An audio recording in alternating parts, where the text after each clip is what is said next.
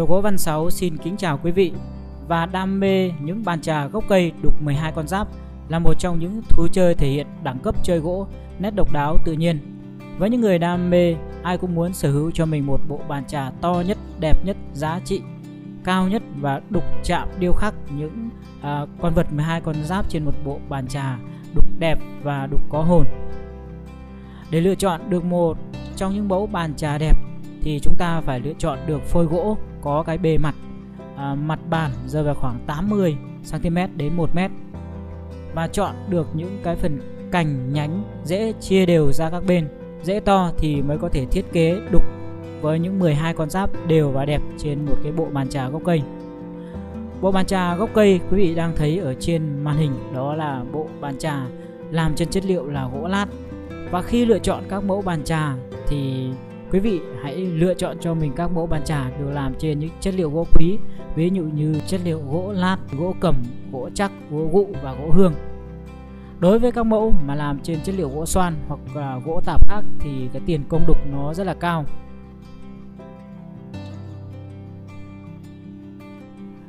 Bộ bàn trà 12 con giáp được đục và tạo hình 12 con giáp xung quanh một gốc cây à, thể hiện cho 12 năm tuổi ứng với 12 12 con giáp. Từ một gốc cây xù xì à, ở trên rừng mang về đã được đục chạm tạo hình tạo nên một bàn trà rất độc đáo và đẳng cấp. Bộ bàn trà này có chiều cao về phần mặt bàn rơi vào khoảng 60 cm và có những chiếc đôn cao là 40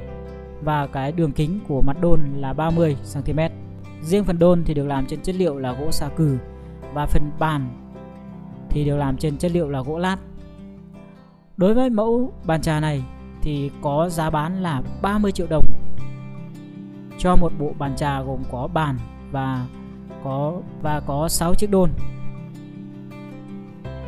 Việc tạo hình và chạm khắc những con vật 12 con giáp trên một bộ bàn trà trải qua một quá trình rất kỳ công từ lựa chọn phơi gỗ đến khi đục chạm và tạo hình. Tôi sẽ chia sẻ cho quý vị một số video mà tôi đã quay và lưu lại được để cho quý vị uh, có thể uh, hiểu hơn về cái nghệ thuật đục chạm và điêu khắc những cái sản phẩm bàn trà 12 con giáp.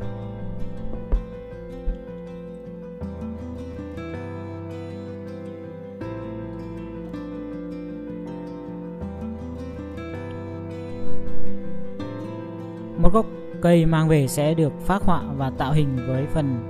thô ở bên ngoài và sẽ được đục chạm và điêu khắc những chi tiết ở phía bên trong. Tạo hình nên các con vật 12 con giáp ví dụ như con rồng, con trâu, con chuột, con mèo.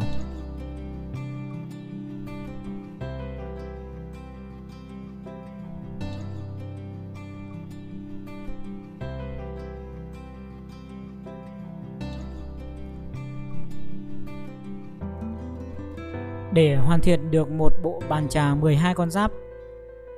ứng với 12 năm tuổi trên một gốc cây thì sẽ mất rất nhiều thời gian, công sức và độ tỉ mỉ để điêu khắc chạm trổ lên những con vật trên một bộ bàn trà. Yếu tố quan trọng đòi hỏi người nghệ nhân phải có một bàn tay nghệ thuật, đầu óc, tư duy sáng tạo trong nghệ thuật đục chạm điêu khắc đồ gỗ.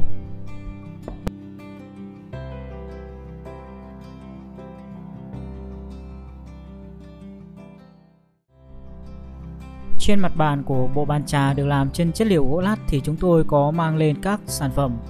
à, ví dụ như các bộ ấm chén cùng với những hộp trà và đĩa cũng như bình phú quý, bình tỳ bà đều được làm trên chất liệu gỗ nung nghiến. Chúng tôi mang lên để cho tất cả quý vị thấy được cái mặt của mặt bàn trà nó rất rộng và có thể được sử dụng đặt rất nhiều vật phẩm lên và quý khách cũng được chiêm ngưỡng các mẫu được làm trên chất liệu gỗ nung nghiến với những đường nu hoa tự nhiên rất độc đáo và bắt mắt. Nội dung trong video ngày hôm nay Đồ Gỗ Văn Sáu muốn truyền tải và gửi đến quý vị là một trong những bộ bàn trà được làm trên chất liệu gỗ lát kèm với 6 chiếc đôn được làm trên chất liệu là gỗ sa cư. Đối với các mẫu này thích hợp cho quý vị nào mang về trưng bày và sử dụng các không gian rộng rãi, ví dụ như tiểu cảnh, thác nước, các không gian rộng, quán cà phê, vân vân. Quý vị và các bạn theo dõi được video này nếu như muốn tư vấn thêm và tham khảo thêm về mẫu bàn trà à, đục 12 con giáp bàn trà gốc cây thì hãy nhấc máy lên và liên hệ tới số điện thoại 0968 152 070 hoặc 0972 282 070 để được liên hệ tư vấn. Cảm ơn quý vị đã theo dõi video. Xin kính chào và hẹn gặp lại quý vị trong các video tiếp theo.